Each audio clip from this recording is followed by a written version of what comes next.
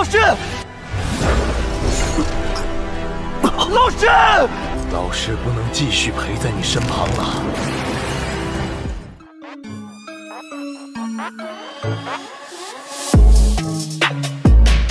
Halo para pecinta Battle True the Heavens dimanapun kalian berada Gimana nih kabar para tetua yang selalu stay dan udah selalu meramaikan kolom komentar? Udah siap kancut dengan perjalanan dari Mang Oyan? Kuilah tanpa berlama-lama lagi Kita kancutkan dan selamat berimajinasi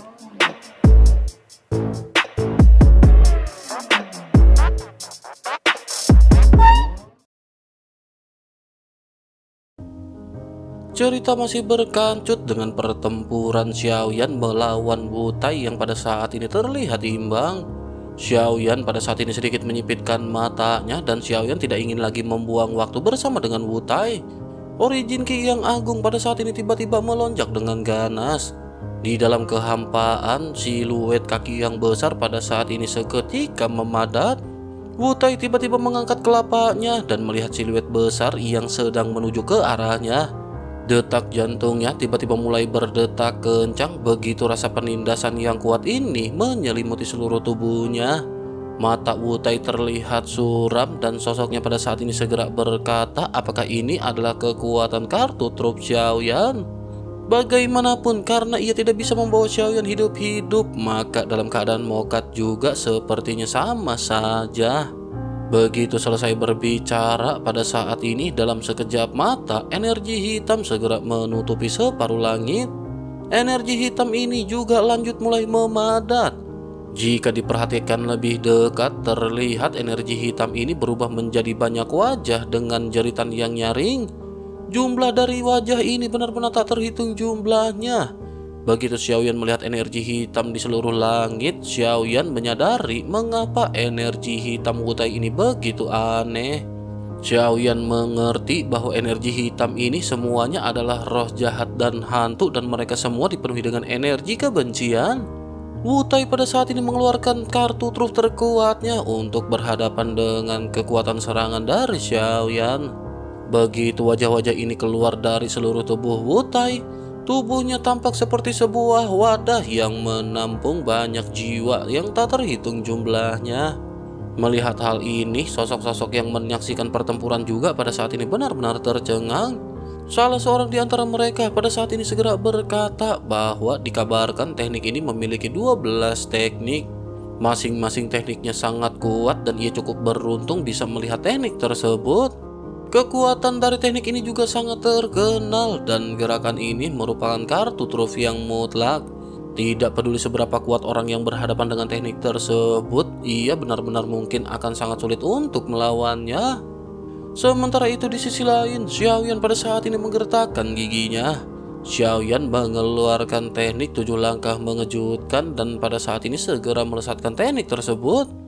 Langkah pertama pada saat ini dilesatkan oleh Xiaoyan dan bayangan kaki seketika menghantam ke arah bayangan hitam. Sosok-sosok wajah yang terlihat garang pada saat ini seketika berpencar ketika bersentuhan dengan serangan Xiaoyan. Wajah-wajah ini seketika menggerogoti serangan Xiaoyan hingga hancur berkeping-keping. Xiaoyan sedikit mengerutkan kening begitu melihat adegan ini dan Xiaoyan kembali melangkah maju. Setelah jeda sejenak, Xiaoyan segera mengambil dua langkah tanpa ragu-ragu. Langkah kedua dan ketiga Xiaoyan pada saat ini seketika mendarat satu demi satu. Kabut hitam juga pada saat ini masih terus meluas dan Wutai masih terus-menerus membuka tangannya. Kabut hitam yang tak terhitung jumlahnya terus mengalir seolah-olah mereka pada saat ini tidak berniat berhenti. Xiaoyan juga pada saat ini mengerutkan kening karena kekuatan dari serangan ini benar-benar merupakan serangan terkuat yang pernah dilihat oleh Xiaoyan. Ledakan pada saat ini seketika terjadi dengan beberapa kabut hitam yang melonjak ke segala arah. Setelah beberapa saat kabut hitam yang terdiri dari wajah-wajah ini seketika kembali melesat menuju ke arah langkah yang dilesatkan oleh Xiaoyan. Wutai juga pada saat ini tertawa terbahak-bahak dan lanjut bertanya apakah ini adalah kartu truf Xiaoyan. Mengapa kartu truf ini benar-benar begitu rentan dan jika begitu permasalahannya, Xiaoyan benar-benar akan segera mokat di bawah serangan dari Wutai. Menanggapi hal tersebut, Xiaoyan pada saat ini menggertakkan giginya karena krisis hidup dan mati tiba-tiba menyelimuti Xiaoyan. Kartu truf Wutai ini benar-benar di luar dugaan dari Xiaoyan. Namun Xiaoyan pada saat ini baru mengungkapkan langkah ketiga dari teknik tujuh langkah mengejutkan. Sesaat kemudian tiba-tiba lautan guntur seluas 90.000 meter persegi meletus di tubuh Xiaoyan. Langkah kaki Xiaoyan kembali tenggelam dan pada saat ini Xiaoyan segera mengeluarkan langkah keempat. Langkah kaki besar pada saat ini segera kembali muncul di udara. Keduanya kembali berbenturan satu sama lain dan banyak ledakan pada saat ini seketika terjadi. Di bawah jejak kaki yang besar ini, jiwa-jiwa yang melesat dari bayangan hitam pada saat ini terlihat terguncang. Tetapi mereka masih terus berlari maju untuk menyelimuti serangan yang dilesatkan oleh Xiaoyan. Xiaoyan pada saat ini juga kembali mengerutkan kening dan berpikir mungkinkah Xiaoyan harus menggunakan langkah kelima. Langkah keempat ini masih bisa ditanggung oleh kekuatan fisik Xiaoyan. Namun Xiaoyan khawatir jika Xiaoyan harus menggunakan langkah kelima, Xiaoyan perlu meminjam kekuatan fisik yang dimiliki oleh klon iblis keabadian. Namun jika Xiaoyan menggunakan klon iblis keabadian, sepertinya Xiaoyan hanya perlu memerintahkannya untuk berhadapan dengan serangan dari Wu Tai. Memikirkan semuanya hingga di titik ini, Xiaoyan pada akhirnya hanya bisa membiarkan klon iblis keabadian muncul. Ledakan pada akhirnya segera kembali terjadi dengan serangan langkah keempat Xiaoyan yang pada saat ini kembali dihancurkan. Untuk sesaat, Wu Tai kembali tertawa terbahak-bahak karena menurutnya kartu trup Xiaoyan ini sedikit lemah. Sosoknya lanjut berteriak bahwa metode ini diciptakan oleh dewa jahat. Ia benar-benar tidak pernah menyangka bahwa suatu hari nanti ia akan bisa menggunakan trik dari dewa jahat untuk menghabisi reinkarnasi dewa jahat. Sementara itu di sisi lain, Xiaoyan masih memiliki ekspresi tenang dan tidak menunjukkan tanda-tanda kepanikan. Melihat penampilan tenang dari Xiaoyan, Wu Tai pada saat ini seketika menyipitkan matanya. Wu Tai sebenarnya takut bahwa Xiaoyan pada saat ini akan masih memiliki kartu truf lainnya. Oleh karena itu, sosoknya bergegas segera melesatkan kekuatan dari kabut hitam. Sosoknya juga berteriak kepada Xiaoyan agar Xiaoyan pada saat ini segera pergi ke neraka. Begitu bayangan hitam ini mendekat, Xiaoyan pada saat ini sedikit mundur. Bersamaan dengan hal tersebut, tiba-tiba Wu Tai melihat sesosok tubuh yang muncul di hadapan Xiaoyan. Aura yang kuat juga seketika memenuhi udara dan banyak kabut hitam pada saat ini dengan cepat benar-benar terhenti. Mata Wu Tai juga sedikit menyipit ketika melihat sosok yang baru saja muncul. Ia tidak bisa merasakan fluktuasi origin ki dari sosok yang berada di hadapan Xiaoyan. Namun meskipun begitu, rasa penindasan yang melonjak pada saat ini bisa dirasakan oleh Wu Tai. Sementara itu, kembali ke klan iblis keabadian yang pada saat ini seketika mengambil ancang-ancang. Sosoknya mengencangkan kelima jarinya dan guntur hitam pada saat ini tiba-tiba memenuhi lengannya. Ketika Wu Tai melihat guntur hitam tersebut, Wu Tai pada saat ini kembali dikejutkan. Hal itu dikarenakan Wu Tai telah melihat guntur hitam ini sebelumnya di dalam kompetisi. Guntur hitam inilah yang membuatnya merasa tidak berdaya. Namun di bawah tatapan Wu Tai yang terkejut, sosok tanpa fluktuasi origin Ki pada akhirnya segera meninju ke arah kabut hitam. Ledakan dahsyat pada saat ini segera terjadi dengan pukulan yang tampak tidak berbahaya yang benar-benar meletus. Guntur hitam juga pada saat ini langsung meledak dan dalam sekejap mata Bayangan hitam yang tak terhitung jumlahnya benar-benar berubah menjadi ketiadaan Kabut hitam hilang sepenuhnya di bawah pukulan ini dan mata Wutai pada saat ini tiba-tiba menyusut Sosoknya tidak menyangka bahwa teknik yang ia banggakan ini benar-benar akan dipatahkan oleh satu pukulan Wu Tai pada akhirnya sedikit bergumam bahwa kekuatan dari sosok ini benar-benar sangat kuat. Sepertinya ia hanya bisa menggunakan rencana cadangan. Sosok Wu Tai pun seketika berbalik dan siap untuk melarikan diri dari tempat ini. Melihat hal tersebut, Xiaoyan pun tersenyum dan berkata bahwa pertempuran baru saja dimulai. Apakah Wu Tai pada saat ini benar-benar ingin pergi? Setelah selesai berbicara, klon iblis keabadian pada saat ini seketika langsung mengejar ke arah Wutai. Sementara itu, Wutai pada saat ini mengerutkan kening dan diam-diam bergumam di dalam hatinya. Wutai berkata bahwa ini benar-benar sungguh sangat sial. Ia benar-benar lupa bahwa keahlian terbaik dari dewa jahat adalah memiliki banyak klon. Sepertinya sosok yang baru saja menghancurkan serangan Wutai adalah klon dari Dewa Jahat. Firasat buruk pada saat ini muncul di dalam hati Wutai. Tidak hanya klon iblis keabadian yang mengejarnya, tetapi Xiaoyan juga pada saat ini bergegas menuju ke arah Wutai. Wutai pada saat ini berusaha secepat mungkin untuk meninggalkan klon iblis keabadian. Jika Wutai terus bergerak maju, maka Wutai akan sepenuhnya meninggalkan istana ramuan dan memasuki lautan kehampaan. Namun apa yang tidak diketahui oleh Wutai adalah kecepatan dari klon iblis keabadian jelas lebih cepat daripada Wutai. Oleh karena itu dapat dengan mudah bagi klon iblis keabadian pada saat ini untuk mengejar Wutai. Sementara itu di sisi lain, Xiaoyan tidak berniat untuk menghabisi Wutai. Xiaoyan masih ingin belajar lebih banyak tentang mansion surgawi dari Wutai. Kekuatan ini sepertinya ada hubungannya dengan dewa jahat dan baru saja Wutai berkata teknik yang ia keluarkan diciptakan oleh dewa jahat. Oleh karena itu, Xiaoyan pada saat ini ingin tahu apa hubungan di antara dewa jahat dengan mansion surgawi. Pada akhirnya, klon iblis keabadian pada saat ini segera menghalangi jalur pelarian dari Wutai.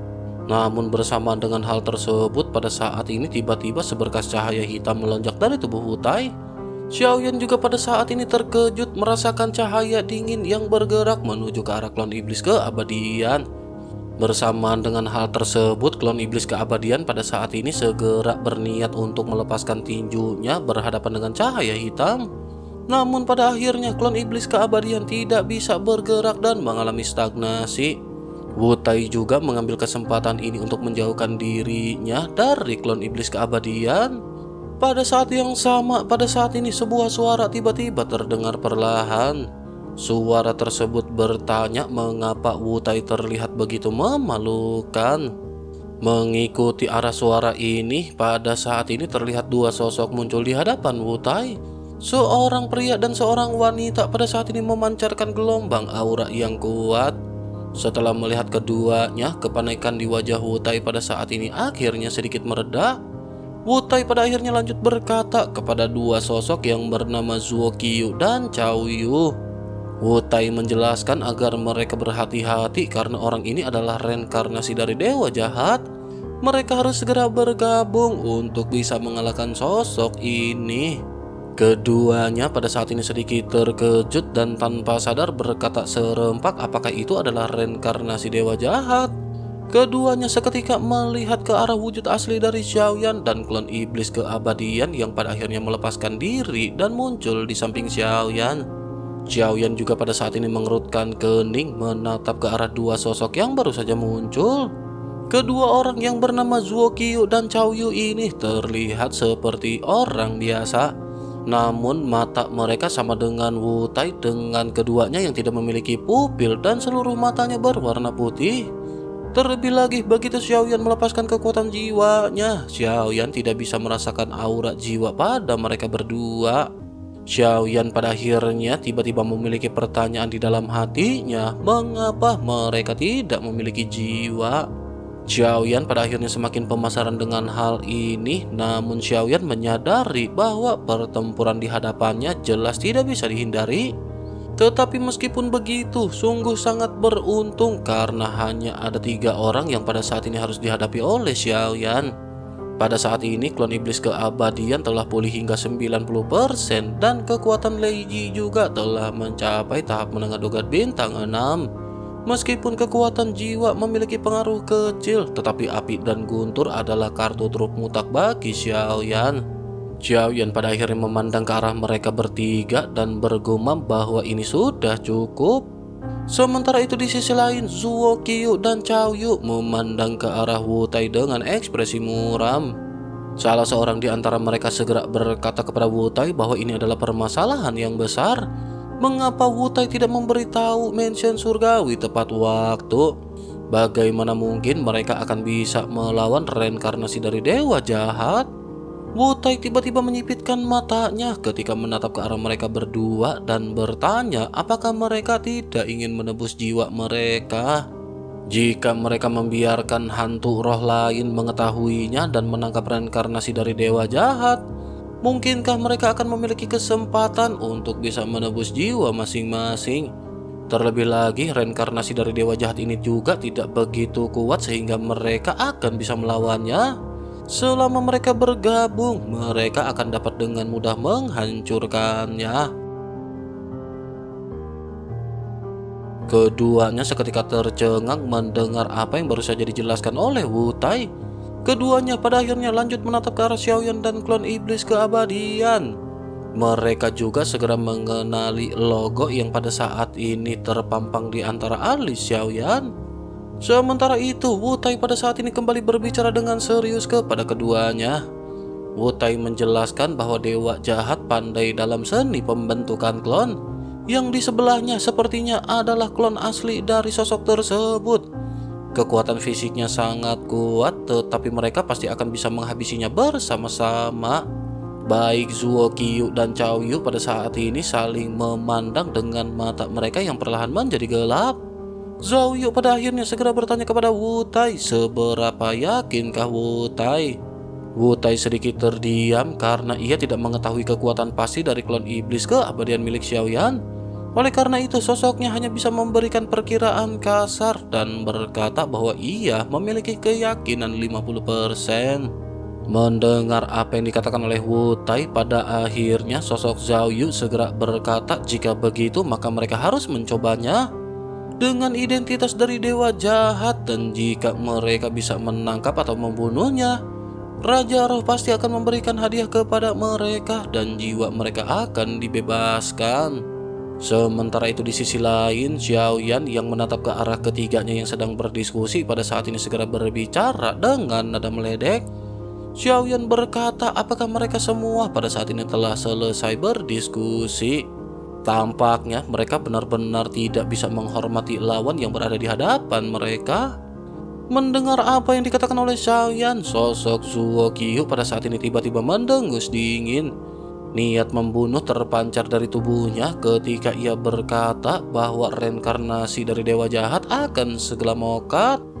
Bersamaan dengan hal tersebut, pada saat yang sama, pada saat ini dua sosok yang baru saja datang tiba-tiba dipenuhi dengan origin ki. Kekuatan mereka juga benar-benar telah mencapai level dari dogat bintang 7. Origin ki mereka bahkan lebih kuat daripada Wutai hingga mencapai 36 bintang di lautan bintang masing-masing. Melihat ketiganya yang pada saat ini bersiap, Xiao Yan lanjut bertanya apakah mereka benar-benar akan menindas seseorang dengan jumlah.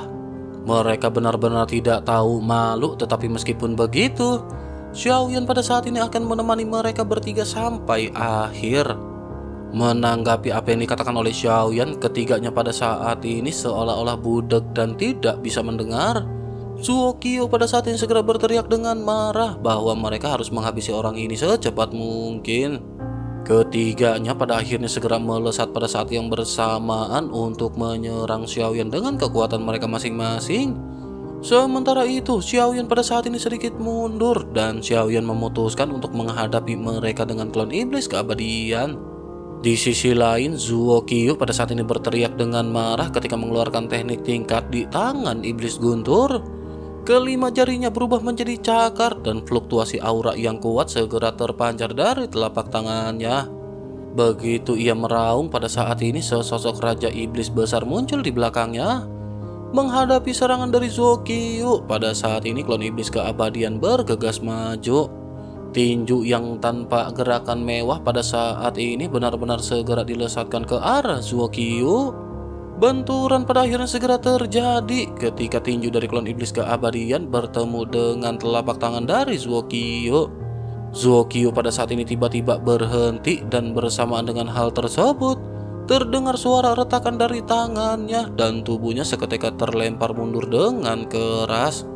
Sementara itu Wu Tai dan Chow Yu juga pada saat ini mendekat bersama-sama menyerang ke arah klon iblis keabadian.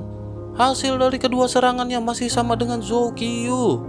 Mereka semua terlempar mundur di hadapan kekuatan absolut tinju klon iblis keabadian. Tanpa konfrontasi apa pun, ketiganya pada saat ini benar-benar tampak rentan di hadapan klon iblis keabadian. Ketiganya pada saat ini menggertakkan giginya sambil menyipitkan mata masing-masing menatap ke arah klon iblis keabadian.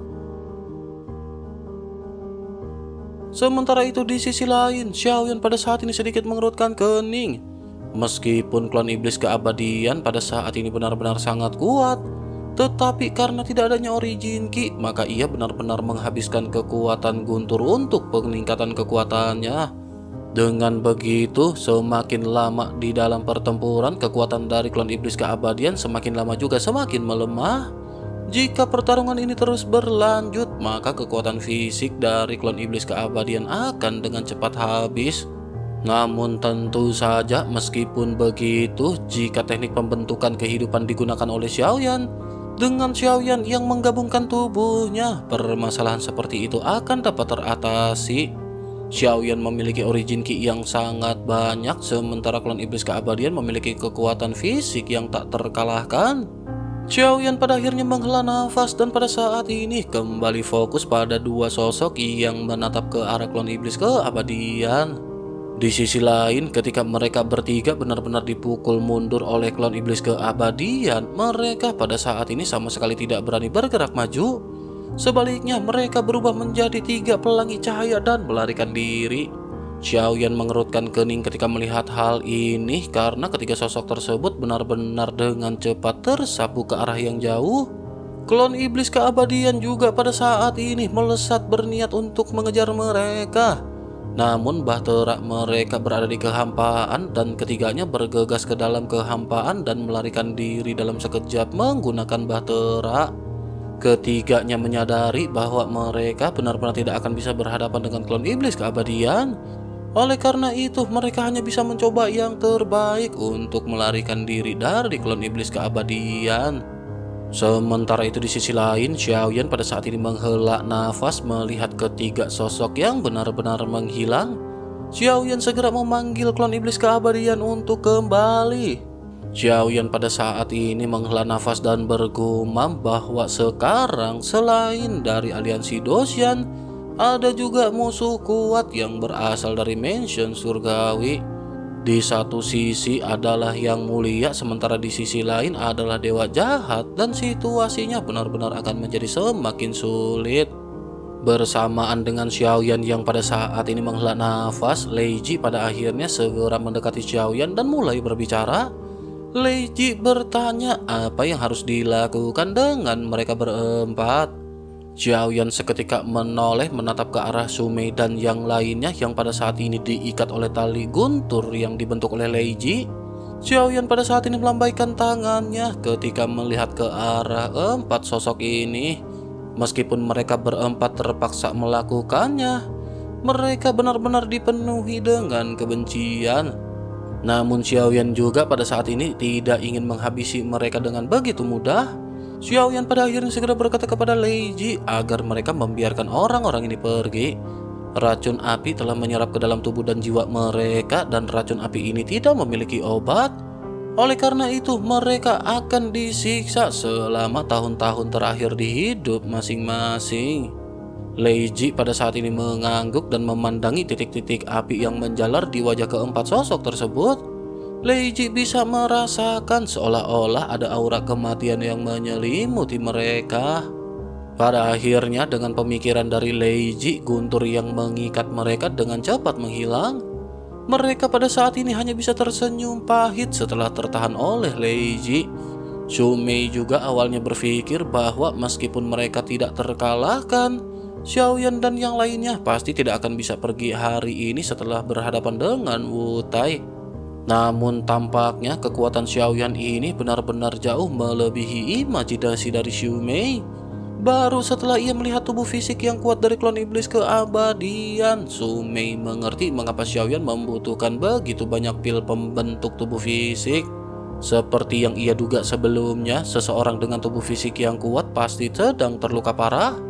Namun begitu klon iblis keabadian muncul, hal ini menunjukkan bahwa kekuatan ini benar-benar jauh lebih besar daripada apa yang dibayangkan oleh Sumei. Di sisi lain, pada saat ini klon iblis keabadian segera kembali memasuki cincin penyimpanan luar angkasa. Xiaoyan juga pada saat ini bahkan tidak menoleh ke arah Sumei dan yang lainnya.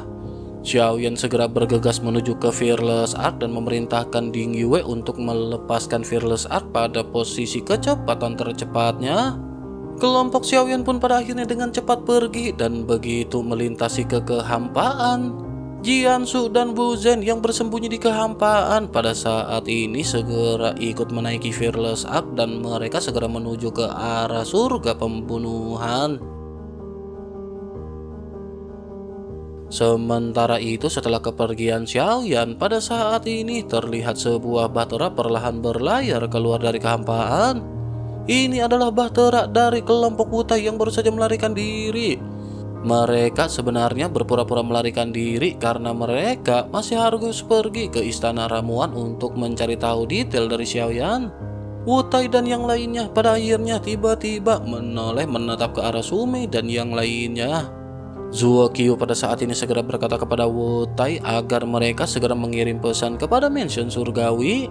Mereka harus memantau pergerakan dari Bahtera yang baru saja dinaiki oleh reinkarnasi dari dewa jahat. Selama mereka masih berada di kehampaan selatan, mereka akan bisa untuk ditemukan. Terlebih lagi ada tanda di dahi orang tersebut yang memudahkan mereka untuk mengidentifikasi dewa jahat. Kekuatan klon yang berada di sampingnya juga benar-benar sangat kuat dan setidaknya hanya dogat bintang 8 atau bahkan lebih kuat yang bisa berhadapan dengannya. Menanggapi hal tersebut, Wutai pada saat ini sedikit mengerutkan keningnya dan bergumam bahwa jika mereka memberitahu mention surgawi, mereka tentu saja tidak akan mendapatkan apa pun di dalam proses penangkapan ini. Setelah berita ini bocor, akan banyak orang kuat lainnya yang mengerumuni kelompok mereka. Dengan begitu, apakah mereka bertiga akan bisa memiliki kesempatan untuk menangkap reinkarnasi dewa jahat? Menanggapi apa yang dikatakan oleh Wu Tai, Zuo Qiu pada saat ini sedikit menyipitkan matanya. Sosoknya lanjut berkata, justru karena itu mereka harus memberitahu orang-orang yang lebih kuat. Apakah menurut Wutai dengan kekuatan mereka, mereka akan bisa memiliki peluang untuk menghancurkan reinkarnasi dewa jahat? Menanggapi apa yang dikatakan oleh Zuo Qiu, Wutai pada saat ini sedikit terdiam. Namun setelah beberapa saat, Wutai pada saat ini segera teringat pada kakak tertua dari Chao Yu. Wutai akhirnya bertanya, bukankah Chao Yu memiliki saudara laki-laki? Selain itu, ia mendengar bahwa saudara lelakinya telah menerobos tingkat dogat bintang 8. Jika ia maju, maka ia pasti akan menjatuhkan sosok tersebut. Mendengar apa yang dikatakan oleh Wu Tai, Chou Yu, dan Zuo Qiu pada saat ini tertegun sejenak. Sesaat kemudian, Zuo Qiu tiba-tiba berkata dengan marah, apakah yang dibicarakan oleh Wu Tai adalah Chao Ge? Pria itu benar-benar sangat kejam dan meskipun mereka berhasil mengajaknya bekerja sama, mereka mungkin akan dibantai oleh sosoknya untuk mendapatkan pujian karena telah menghabisi dewa jahat. Wutai pada saat ini sedikit tersenyum dan lanjut berkata bahwa mereka tidak perlu khawatir. Bukankah di sini ada Chow Yu dan dengan keberadaan dari Chow Yu, ia tidak akan berani bertindak jika Cao Yu tidak mengizinkannya. Ia pada saat ini ingin bertanya kepada mereka, pernahkah mereka melihat Cao Ge yang tidak menuruti permintaan dari Cao Yu? Mendengar hal tersebut, Zuo Qiu pada saat ini sedikit terdiam sebelum akhirnya menganggukkan kelapa. Ketiganya pada akhirnya segera merumuskan rencana apa yang akan mereka lanjutkan selanjutnya. Mereka juga pada saat ini melakukan pencarian jiwa terhadap kelompok Sumei dan yang lainnya. Sumei yang telah terkena bintik api pada saat ini kondisinya benar-benar menjadi semakin memburuk. Namun setelah beberapa saat melakukan pencarian jiwa, ketiga kelompok Wutai pada saat ini tidak mendapatkan informasi yang penting. Mereka juga bahkan tidak mengetahui arah ke mana Xiaoyan berada dan apa yang pada saat ini sedang dicari oleh Xiaoyan. Namun meskipun begitu, mereka pada saat ini segera bergegas menuju ke arah di mana Xiaoyan pergi. Cao Yu juga pada saat ini segera memberikan informasi yang memerintahkan Cao Ge untuk segera datang menemuinya. Sementara itu di Fearless Ark Xiaoyan pada saat ini sedang duduk bersila di dalam ruangan 50 tahun waktu yang perlu mereka tempuh pada saat ini bukanlah waktu yang lama atau singkat. Xiaoyan pada saat ini memasuki pagoda pemurnian dan terus meningkatkan kekuatannya karena khawatir dengan surga pembunuhan. Xiaoyan berpikir bahwa sepertinya apa yang ditakutkan oleh Wu Tianyu benar-benar akan segera terbukti. Di dalam pagoda pemurnian, pada akhirnya Xiaoyan segera memanggil Zhan Lao. Xiaoyan bertanya kepada Zhan Lao apakah Zhan Lao tahu mengenai mansion surgawi. Xiaoyan pada saat ini menjadi tertarik dengan kekuatan dari mansion surgawi dari Wutai dan yang lainnya. Xiaoyan bisa merasakan bahwa mansion rumah surgawi tampaknya lebih kuat daripada aliansi Doshan. Oleh karena itu, Xiaoyan pada saat ini harus menyelidiki dengan pasti. Sementara itu, suara Zanlao pada akhirnya terdengar setelah Xiaoyan mengajukan pertanyaan.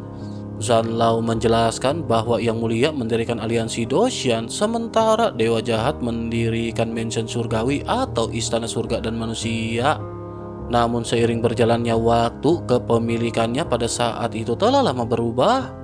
Selain itu, sangat jelas terlihat bahwa penampilan Xiaoyan yang telah terungkap dapat dikatakan menjadi duri ketakutan terbesar bagi keduanya. Xiaoyan pada saat ini seketika terkejut dan tanpa sadar bertanya apakah mansion surgawi diciptakan oleh dewa jahat. Jika begitu permasalahannya, maka seharusnya mereka menghormati Xiaoyan ketika mereka melihat tanda dari dewa jahat. Namun pada akhirnya mereka benar-benar mati-matian berniat untuk menghabisi Xiaoyan. Melihat kebingungan dari Xiaoyan, Zhan Lao pada saat ini lanjut mulai menjelaskan kepada Xiaoyan. Zhan Lao berkata bahwa semuanya seperti apa yang baru saja dikatakan oleh Zhan Lao. Kekuatan ini telah berganti pemilik sejak lama dan bagaimana mungkin pemilik baru bisa membiarkan pemilik lama berkeliaran dan bertahan.